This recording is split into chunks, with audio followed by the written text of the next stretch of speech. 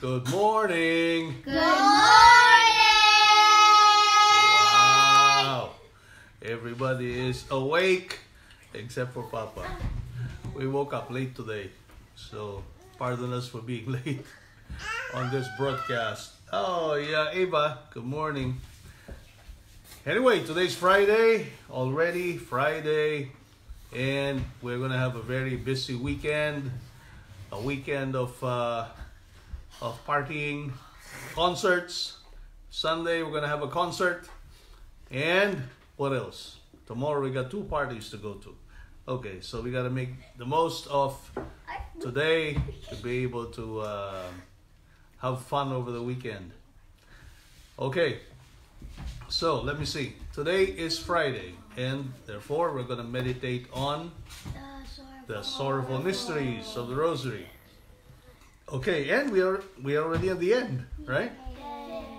We are on the fifth mystery, the fifth mystery of the Rosary, the sorrowful mysteries. Fifth sorrowful mystery is the Crucifixion and death of our Lord. the crucifixion and death of our Lord. Okay, so let us imagine what happened there.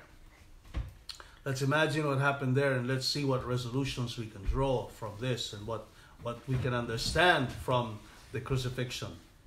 So our Lord arrives at Calvary, the Mount of Skulls, the place where they crucify criminals. Our Lord is now going to meet his ultimate fate, which is to be crucified on the cross. And there they fasten him on that cross with three nails one on each hand and one that joined his feet.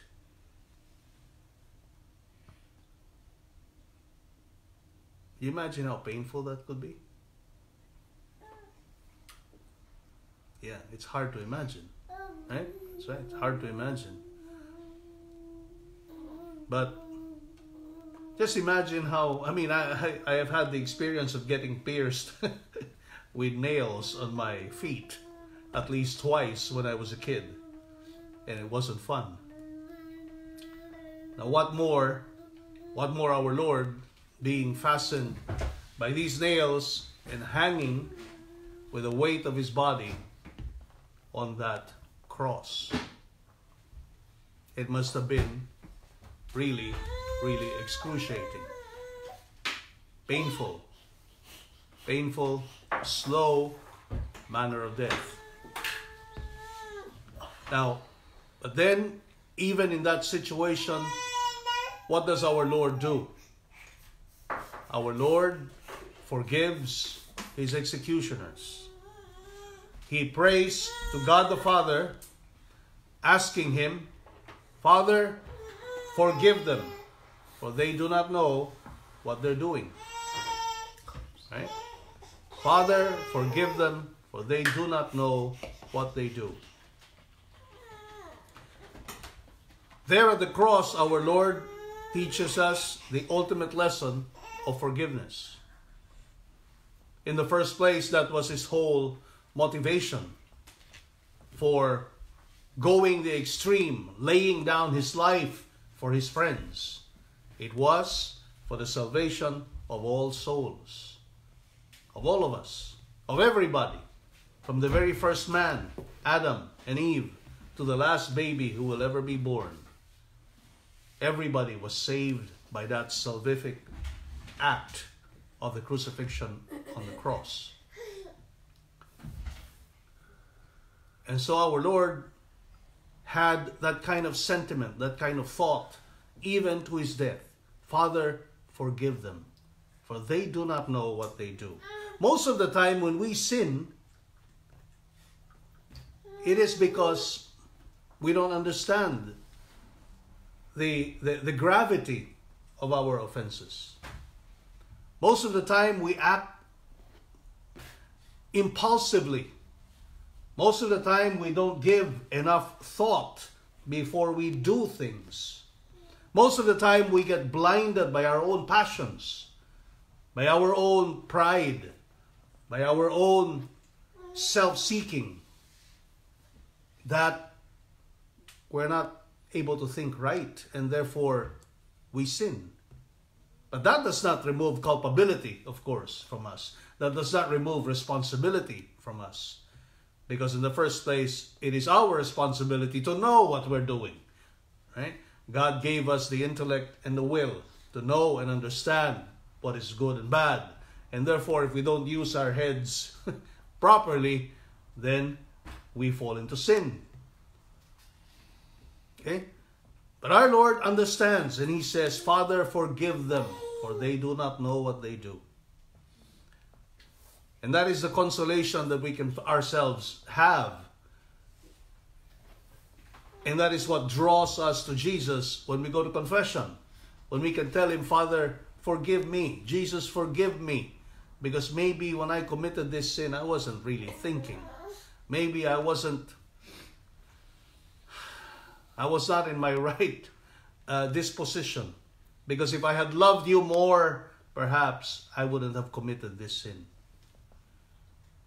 And that is the same thing we ask our Lord when we go to confession Forgive me for my lapses. Forgive me for my lack of love. Forgive me for crucifying you on that cross again. Because that is what we do every time we commit sin. We pound on those nails on the hands of our Lord and on his feet every time we commit sin.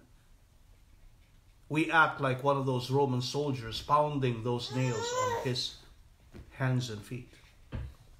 We're crucifying our Lord again, again, again, again, every time we commit sin.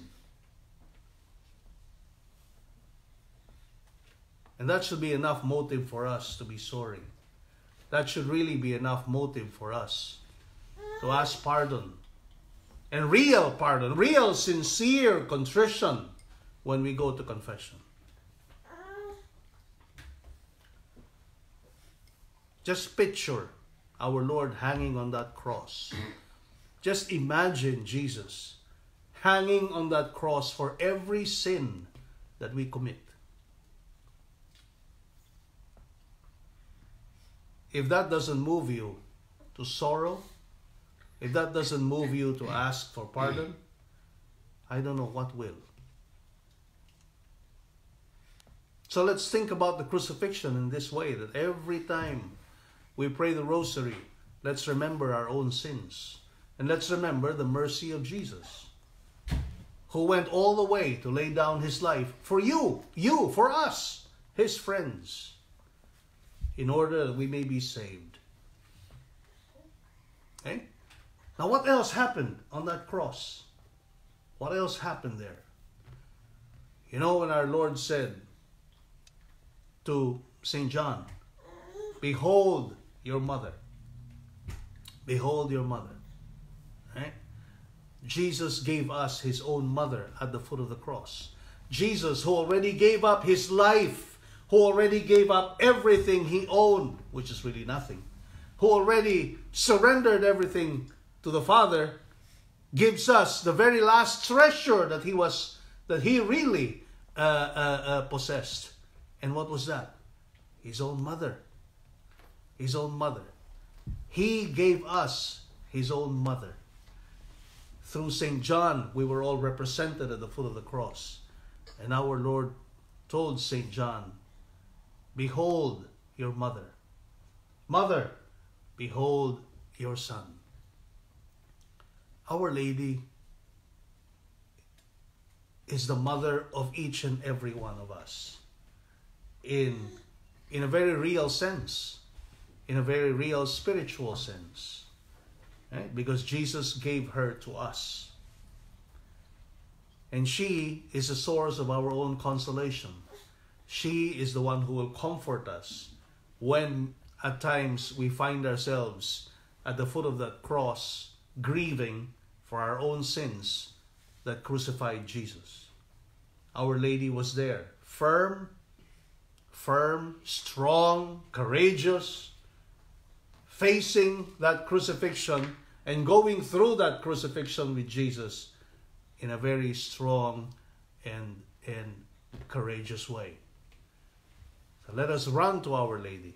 Every time we find ourselves in temptations that we could not overcome, every time we tend to give in to our own pleasures in an illicit way, every time we tend to be proud and cocky and, and all of those bad things, let us learn to run to Our Lady and ask Our Lady, Mother, Mother, help me. I don't want to crucify Jesus again. I don't want to be pounding on those nails on his hands and feet. Help me, prevent me from doing that. Help me fight against these temptations. Help me be strong in upholding our Lord rather than condemning him again to death. Let us remember Our Lady. Then, just before Jesus breathes his last, he says, Consummatum est. It is accomplished. All of what I have come on earth to do has now come to pass, has now been accomplished. And that is why I'm ready to go. I have given you myself. I have preached the word to you. I had revealed the Godhead to you. I had given you the church. I had constituted the church for you. Now my work is done. Consummatum est. And as I go and resurrect later, I'll send the, another consoler, another advocate, the Holy Spirit, who will continue the work of the church all throughout the centuries. Right?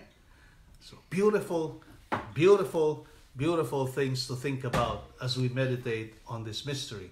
And that too, right there, is the inauguration, the formal inauguration of the church that Jesus Christ has founded. Okay? The formal inauguration of the church and all of our sacraments. All of our sacraments. When, when, that, uh, when that soldier pierced the side of Jesus and from it flowed blood and water. Everything that was that had to remain inside of Jesus that was that was significant in the sense that that kind of outpouring of everything else, blood and water there, was a sign of the sacraments. It was the, the symbol of our Lord inaugurating the sacraments, okay? Eh, together with the inauguration, formal inauguration of the church. So we thank Jesus, we thank Him for this great act of mercy, this great act of compassion for all of us. But at the same time, let us remember our own responsibilities as far as our own sanctification is concerned and our own salvation is concerned. Jesus did all of this for us. He died on the cross for us. How are we living up to the expectations that Jesus has of us? Now let's think about these things as we meditate on the last mystery, the last sorrowful mystery of the Holy Rosary. Okay, that's it for us, folks. Have a good day, everybody. Have a good weekend ahead of you. And we'll see you again next week on this morning broadcast. Hopefully, we're not late. Okay, bye-bye. Bye.